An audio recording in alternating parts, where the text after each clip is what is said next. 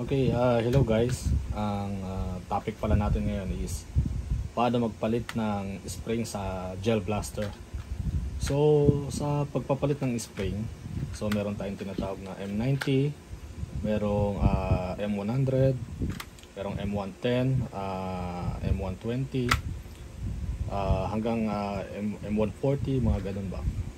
So, kapag tumataas siya, uh, for example, from uh, M190 to M140 kumbaga pataas na pataas yung tig pagtigas ng spring niya. So meron tayo ditong dalawang springs which is uh, M110 at meron din tayong uh, M90 so itong uh, M110 so in order ko to nung nakaraan uh, ang dahilan nga lang kaya tinanggal ko siya is uh, sobrang tigas niya So, ayaw kong isugal tong uh, aking gel blaster para lamang magpit itong spring doon sa loob kasi uh, ayaw kong masira yung gearbox niya sa loob.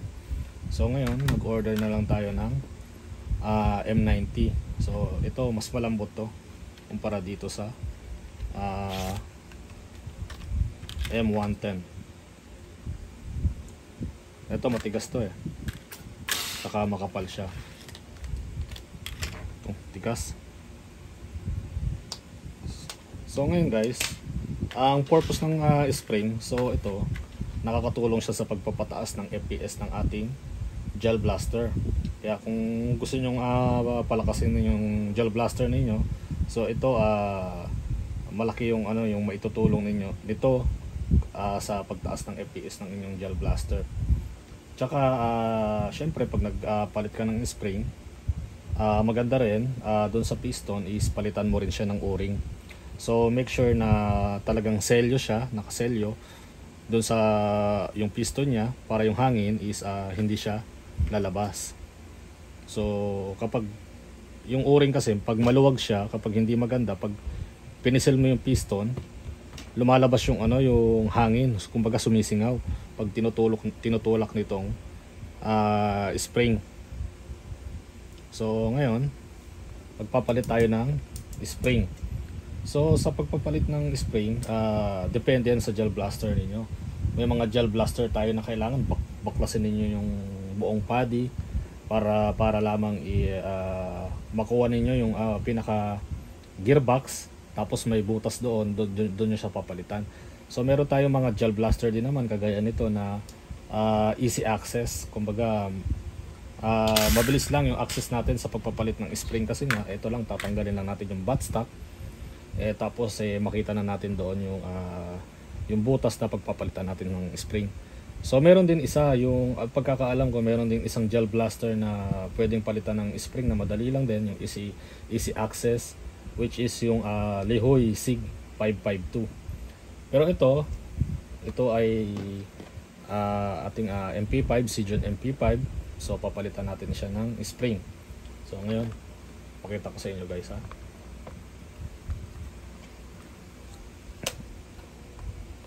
Ayan, tulak nyo lang yan.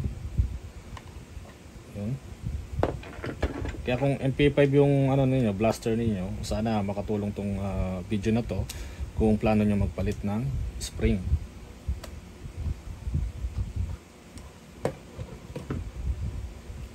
So ayun, kita nyo. May dalawang tornilyo dyan. Ito lang yung gagalawin natin sa baba muna. Tagalin muna natin itong magazine.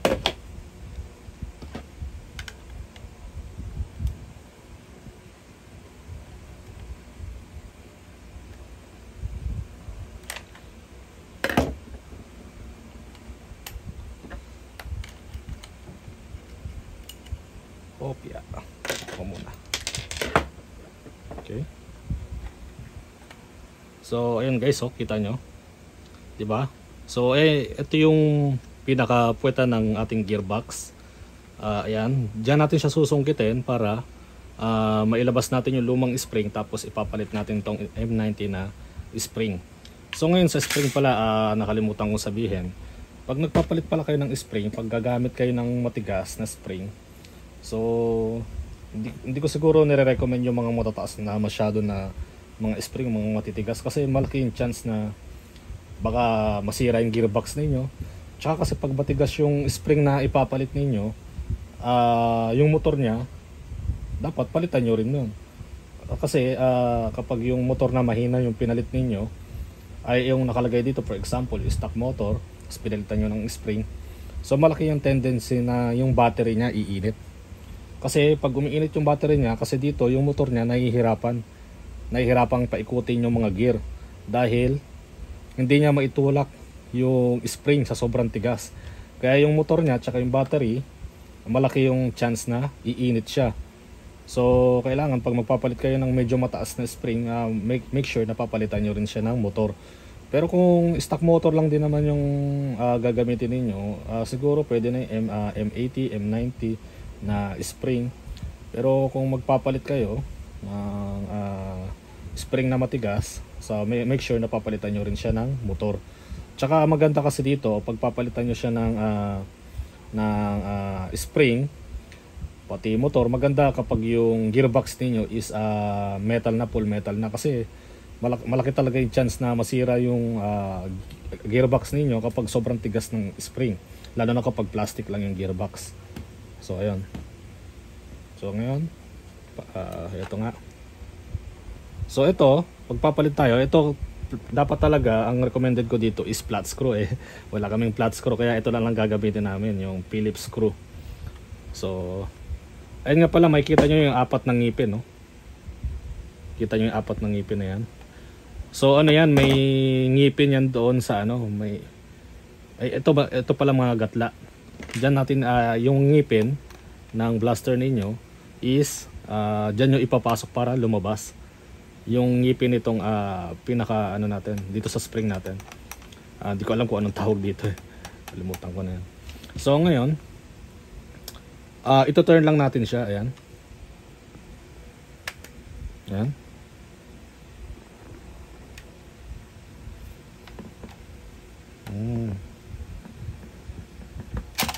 turn so ayan na guys kita nyo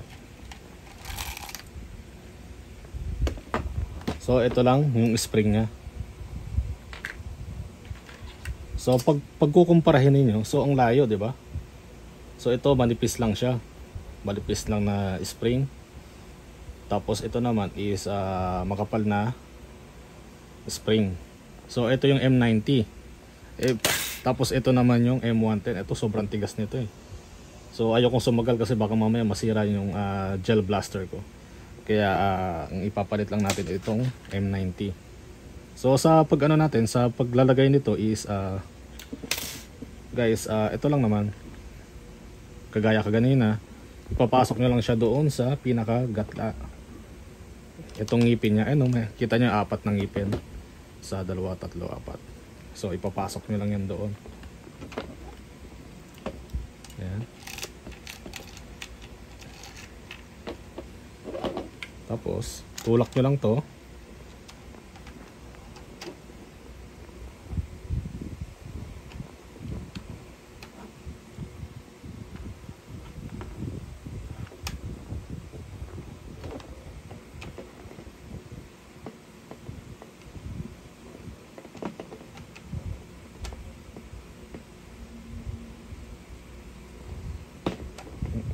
Kopya. yun. So nakita nyo na guys ha? Kung paano yon so nailagay na natin siya ngayon. Ilagay natin. So tornilyo. Tornilyo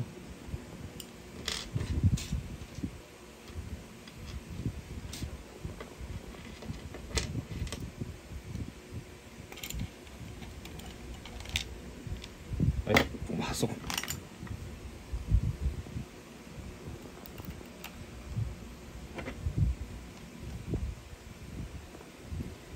So ngayon sa spring naman, uh, pag maglalagay kayo ng spring, kung papalitan nyo lang din naman, hindi nyo na kailangan baklasin yung pinaka gear. Kasi nga, uh, naka-set up na yan doon eh. Tsaka ano na, uh, kumbaga, naka ano na yan doon, naka-timing na. So, hindi nyo na kailangan ano yan, palitan yan. Eh, hindi nyo rin kailangan tanggalin yung pinaka-piston doon sa loob. Kasi naka-timing na yan, so mag-iiba yung timing yan kapag tinanggal mo yan, tapos ibabalik mo ulit eh. So mahalaga dyan is uh, Huwag mo na siya tatanggalin. So, spring lang tatanggalin ninyo. So, yan. Kabit na natin siya. Ngayon, tatayin natin kung kaya niya ba yung ano, ah, M90 na spring. So, ito pala guys, itong ah, MP5 ko as is ah, ano to, ah, metal yung ano niya, yung gears niya. So, metal yung piston, piston head.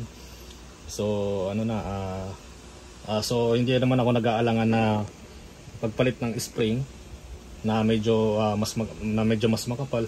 Kasi nga yung gear natin is ah, metal naman na. Kasi kapag yung gear ninyo is ah, nylon lang so malaki yung chance na baka maputol yung gear ninyo o mabilis siyang mabubungil mabubungi. So ito so try natin guys kung kaya niya ba yung M90 na spring. So testing natin guys.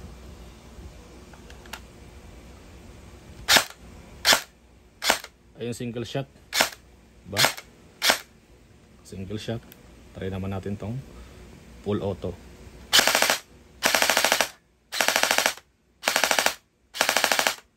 Diba guys? So ayun nakapalitan na natin. Kumbaga itong ah, stock na spring niya is ah, manipis lang. Kumbaga kung ikukumpara natin siya dito ka, sa M90 so ayun nga. So mag, pag magpapalit kayo kung MP5 lang lalo, lalo na o kaya SIG 552 yung unit ninyo. So ito lang buksan nyo lang tong uh, uh, pinakapuwetan niya tapos eh doon lang kayo magpalit ng spring. So Full auto. Okay. guys ngayon ipap eh, babalik na natin siya. So ganun lang. Napaka napakadali lang.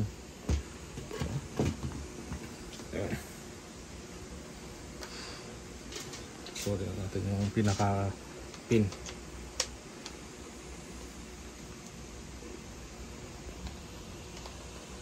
Ayun. Diba? So ayun na guys, napalitan na natin siya ng spring na M90. So yun lang guys, Ah, sana may natutunan tayo sa kung paano ba magpalit ng spring sa ating ah, gel blaster. So guys, sa susunod naman ulit. Bye bye.